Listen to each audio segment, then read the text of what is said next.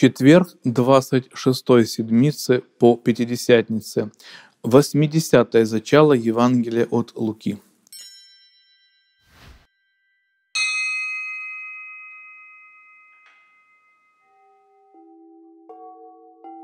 Сказал же и к ученикам своим, один человек был богат и имел управителя, на которого донесено было ему, что расточает имение его, и призвав его, сказал ему, что это я слышу от тебе, дай отчет в управлении твоем, ибо ты не можешь более управлять. Тогда управитель сказал сам себе, что мне делать? Господин мой отнимает у меня управление домом. Копать не могу, просить стыжусь, знаю, что сделать, чтобы приняли меня в домы свои, когда оставлен буду от управления домом. И призвав должников господина своего, каждого порознь, сказал первому, сколько ты должен господину моему? Он сказал, сто мер масла. И сказал ему, возьми твою расписку и садись скорее, напиши пятьдесят. Потом другому сказал, а ты сколько должен? Он отвечал, сто мер пшеницы и сказал ему, возьми твою расписку и напиши 80. И похвалил господин управителя неверного, что догадливо поступил, ибо сыны века сего догадливая сыновей света в своем роде. И я говорю вам, приобретайте себе друзей богатством неправедным, чтобы они, когда обнищаете, приняли вас в вечные обители прочтенная притча, притча о неверном домоуправителе. Это, наверное, один из самых сложных текстов для а, объяснения, для толкования. Многие экзегеты говорят об изначальной трудности этого текста. В определенное время, в 19 в начале 20 веков, даже высказывалась точка зрения, что это место евангельское является испорченным текстом. То есть текст евангельский именно в этом месте был испорчен, и поэтому растолковать его в евангельском смысле, с евангельским содержанием почти невозможно. Однако, как отмечали а, экзегеты Священного Писания и именно этой притчи, подобного рода ответ, то есть что это испорченный текст, является лишь а, просто уклонением от самой проблематики трудного текста. Нужно признать, что в Священном Писании есть трудные тексты. И возникли они не потому, что текст кто-то испортил, или что-то там дописал, или отписал, или убрал, а, а на самом деле они трудны для экзегезы. И задача толкователя все-таки растолковать трудный текст. И эта притча именно такова. Э, в действительности э, уже древние толкователи э, испытывали своеобразные затруднения при объяснении этой притчи. Почему? Потому что в этой притче есть негативный персонаж домоуправителей. И этот негативный персонаж является человеком, который лукавый, хитрый, неискренний и по сути своей пользуется служебным положением для собственной наживы. И вот такой персонаж ставится в пример. Как может быть это в контексте вообще евангельского учения? Давайте обратимся а, сначала к самой исторической конве. Надо сказать, что а, некоторыми авторами, например, архиепископом Лолием, были предприняты попытки реконструи... реконструировать а, сделать историческую и археологическую реконструкцию этой притчи, дабы понять э, те образы, э, те выражения, которые используются в этой притче. Мы воспользуемся этими реконструкциями и э, дополнительными э, толкователями и объяснением древних экзегетов и библистов нового времени. Господь, как уже говорилось, в притчах использует образы, символы, понятия, которые понятны и очевидны всем. Что же использовано в этой притче о э, неверном домоправителе? Какие именно исторические реалии времен Иисуса Христа можно увидеть в этой притче? Все дело в том, что сейчас э, трудоустройство управляющего несколько по-иному, вернее, радикально по-иному осуществляется, чем это было в древности. Сейчас человек, приходящий на должность, условно говоря, менеджера, получает некие полномочия и получает свою заработную ставку. А в древности был такой интересный как бы обычай, который был настолько популярен, что по сути воспринимался как должное, хотя все понимали, что это есть нарушение. И как э, объясняют э, экзегеты этого места, этой притчи, что это было чуть ли не нормой.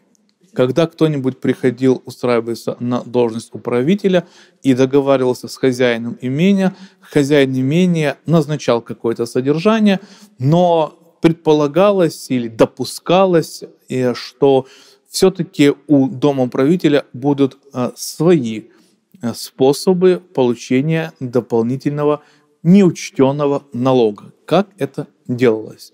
Например, хозяин обладает большим количеством земель, садов, а, рощ, лесов, и он их сдает в аренду. Конечно же, личного управления он не производит. Управляет от его имени а, домоуправитель этих всех имений. И вот домоуправитель заключает с арендаторами условия аренды. Ты пользуешься а, рощей, Э, или э, оливками или виноградником моего хозяина и должен отдавать ему за это определенный налог. Например, в год ты должен отдавать 100 литров оливкового масла за то, что ты пользуешься рощей моего господина. Или ты должен отдавать 50 э, центнеров пшеницы за то, что выращиваешь ее на земле моего хозяина. Однако честный управитель Э, мог, в принципе, как бы на этом и остановиться. Но чуть-чуть э, нечестный мог сделать э, такой вариант, что сверху того, что надо, он набрасывал в своем интересе. А домоуправитель совсем уже потерявший всякие рамки и э, всякое приличие, а, то э, допускал иногда слишком большую процентную ставку сверх того, что еще нужно было отдавать хозяину. Например, хозяин говорит домоуправителю, я даю это поле за то, что мне будут э, с него в год давать 100 килограмм пшеницы. А домоуправитель говорит арендатору, за то, что ты будешь арендовать это поле, ты будешь давать 150 килограмм пшеницы. Управитель берет 150 килограмм пшеницы, и из них 100 отдает хозяину, потому что хозяин сказал, что он хочет видеть именно 100 килограмм пшеницы с этого участка, а 50 забирает себе. И таким образом а, зачастую дома управители имели достаток, доход а, ну, если не сопоставимы с доходом хозяина имения, то во всяком случае существенно выше той ставки, той изначальной заработной платы, которую предлагал ему хозяин. И на Востоке, как вот говорят э, историки и э, толкователи этой притчи, это было ну, настолько распространенное явление, что хозяева зачастую понимали, что так и будет, и поэтому изначально давали маленькую ставку своему домоуправителю, зная, что домоуправители э, подобавляют себе где 10, где 50, где 80 процентов сверху того, что э, им Э, нужно было взять для своего хозяина. Но вот в данном случае очевидно, что домоуправитель брал так много сверху, что его доходы, по сути, были сопоставимы с доходами хозяина. Это видно из э, сопоставления цифр, которые он говорит писать в расписках тем, кого он потом призывает. И именно таково положение дел, то есть такая наглость домоуправителя, она Э, стало для хозяина поводом недовольства, поводом в том, чтобы э, выразить э, свое недоверие домоуправителю. Итак, вот эта историческая канва, в которой сказаны это притчи, это отображены факты той жизни, жизни эпохи Господа Иисуса Христа. Но что же для нас, христиан, важного в этой притче. Э, святитель э, Феофан Затворник, а раньше него и многие другие толкователи, и блаженный Феофиглакт, говорят, что если притчу рассматривать вот в подробности каждое отдельное слово, то э, такое толкование уведет нас от изначального значения притчи.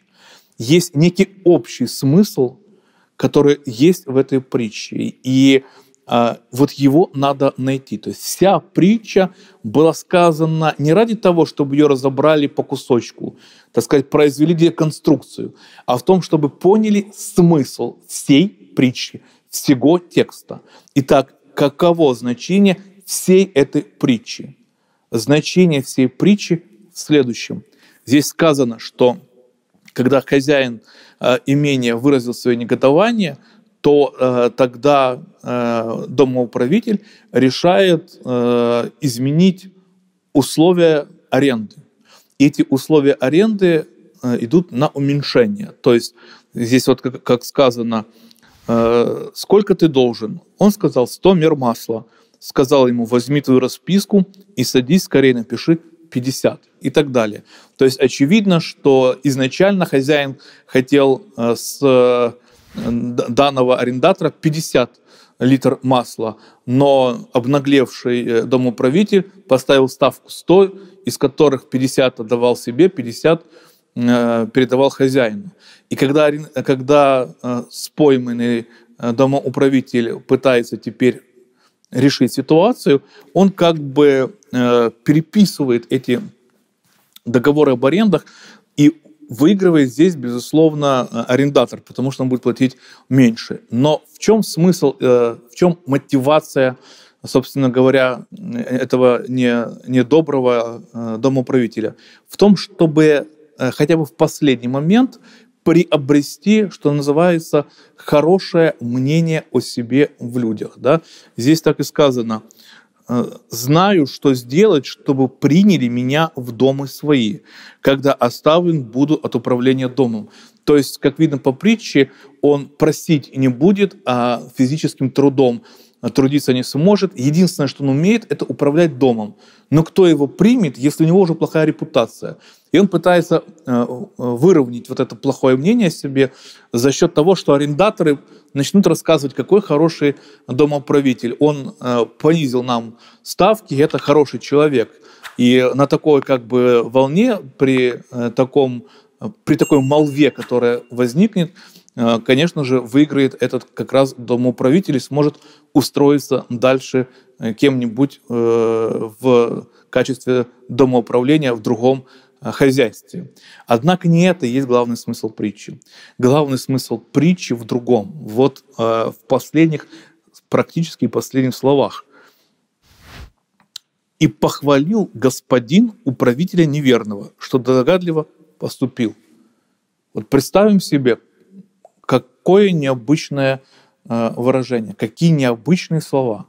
Господин, который ругал, который подозревал домоуправителя в неверности, и в конечном итоге так и есть. И вот это уменьшение ставок по аренде показывает, что э, действительно э, домоуправитель был неверный, но вместо того, чтобы вызвать его и сказать ему, видишь, вот ты начал понижать Э, ставки по аренде, и об этом уже все говорят. И это, безусловно, доказывает твою неверность и твою беспринципность. Хозяин, тем не менее, поступает совершенно противоположным образом. Он не ругает домоуправителя, не говорит ему, вот что и требовалось доказать, что ты являешься подлым человеком, а хвалит его. И здесь сказано, еще раз прочтем, «И похвалил господин управителя неверного, что догадливо поступил. То есть сама находчивость, которую проявил этот неверный домоуправитель, она вызвала своеобразное восхищение хозяина дома.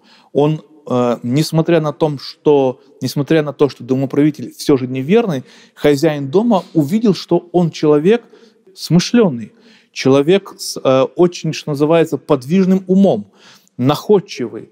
И это само по себе качество – вызывает у хозяина дома восторг.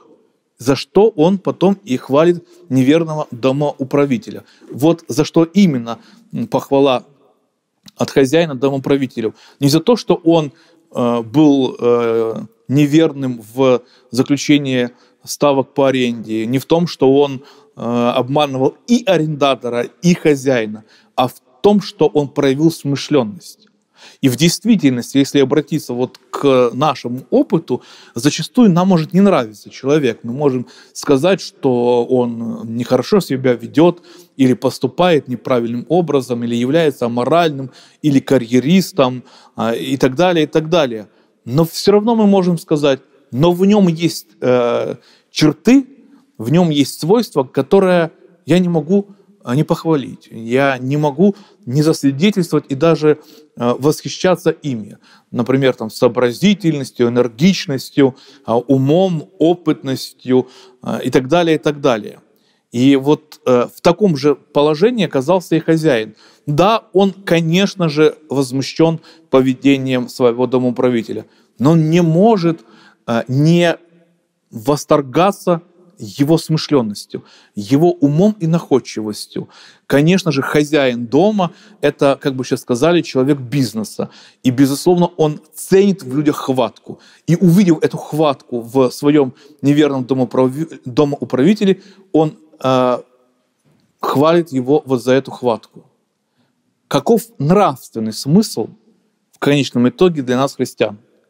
Для нас нравственный смысл следующего образа об этом говорит святитель Феофан, что смысл притчи в чем? Мы можем быть э, и часто ведем себя как неверные, как несоответствующее имя христианина.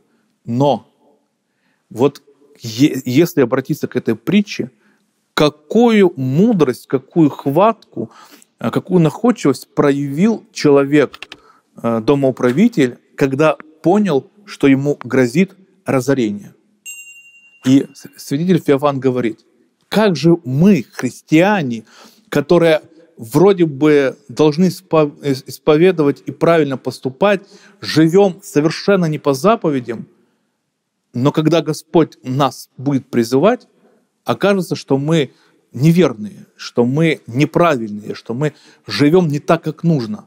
И вот Господь говорит нам, да проявите в конце концов вот хватку и смышленность в том, чтобы искать возможности приобрести праведность. Если человек лукавый находит возможность, проявляет хватку, проявляет способности для приобретения материального, проявите вот эти черты для того, чтобы жить праведно. Проявите э, свои таланты для того, чтобы стремиться к приобретению настоящего, то есть благодати, добрых дел, поступков. Ищите возможности всяческим образом приобрести доброе, потому что только в таком случае мы получим похвалу от хозяина дома. И, конечно же, если а, мы можем большую часть нашей жизни даже жить неверно, но конечном итоге в какой-нибудь части своей жизни или в старости, или при определенных условиях вдруг понимаем, что остается ни с чем, тогда мы можем использовать все наши таланты, все наши хорошие характеристики для возможности приобретения э, благодати, для возможности приобретения добрых дел. Чтобы понять в конечном итоге смысл заключительных слов, я их Э, прочту, они также тяжелы для толкования. «Приобретайте себе друзей богатством неправедным, чтобы они, когда обнищаете, приняли вас в вечной обители». Э, смысл этих слов станет нам понятен, если мы сопоставим их с одной евангельской историей, с историей Захея Мытаря, человека, который по сути своей был вот таким же домоправителем. Мытари, они тоже собирали налог в пользу римлян, но при этом могли себе, э, кто больше, кто меньше, что-нибудь добавить, чтобы шло и в их личный карман. Например, если требовалось там 10 драхм налога за год в пользу римской казны, э, мытарь, можно сказать, 12 драхм. 10 он отдавал в пользу римской казны, а 2 оставлял себе. И на этом мытари очень сильно богатели. И вот Захей мытарь, он в конечном итоге был человеком богатым. И э, при этом в своем богатстве его не уважали, его считали недостойным человеком, недостойным ни по занятию, ни по э, методам обогащения. Но когда он уверовал, что он делает? Он говорит Господу, отдам половину моего имения и все, что кому должен, отдам в четыре раза больше. Приобретено ли богатство Захей неправедным путем? Очевидно, да. Но приобретет ли он друзей, когда наконец-то начнет жить по закону Божьему, помогать бедным, кормить нищих, утешать тех, кто в этом нуждается? Ответ – да. Если нужен пример человека, который большую часть своей жизни мог жить неправедно, мог приобретать что-нибудь неправедным путем, и это не обязательно деньги, это может быть и положение, и власть, и связи, и возможности, и так далее, и так далее. Но когда придет в осознание, когда поймет, что в конечном итоге э, он живет неверным образом и окажется без ничего, без ничего в духовном смысле, и начнет все эти средства использовать в том, чтобы помогать окружающим, тогда, безусловно, он приобретет друзей. И вот эта фраза, еще раз ее прочту, «приобретайте себе друзей богатством неправедным», это как раз фраза, которая в полной мере показывает, показывается и раскрывается на примере Захея Мытаря. Итак, общий смысл этой притчи – нужно быть находчивым, нужно искать возможности, проявлять характер, проявлять свои способности в том, чтобы э, приобрести божественную благодать, в том, чтобы делать дела добрые и через это э, наконец-то приобрести истинное богатство, богатство благодати во Христе.